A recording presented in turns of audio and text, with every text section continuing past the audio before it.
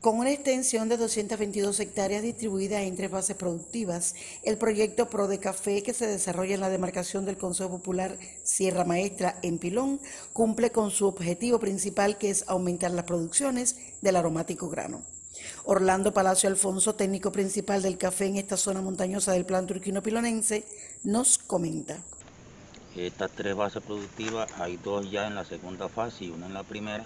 que están siendo beneficiadas por algunos recursos en el café que han servido también para aumentar la producción, humanizar el trabajo de los productores de café, independientemente de la situación que tiene el país con el bloqueo y demás, se están haciendo trabajos alternativos en la fertilización y en los plaguicidas. Nos estamos apoyando para los CTB de, de Guisa, que es el departamento científico de la provincia,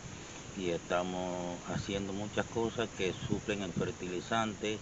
suplen los fungicidas, suplen los insecticidas y vamos aumentando la producción de esto. Además de esto, están inmersos en otros objetivos que favorecen a los pequeños agricultores y pobladores de estas serranías. Construcciones de,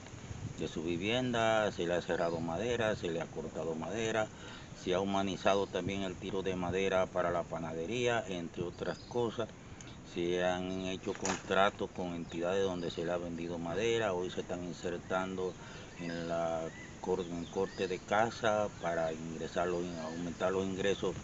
de los trabajadores e ir aumentando la producción de café. Este proyecto continúa la capacitación y propone avanzar en la atención al hombre, el incremento de las producciones de café para la obtención de mejores rendimientos. Vilma Vilena Hernández, Sistema Informativo de la Televisión en Granma.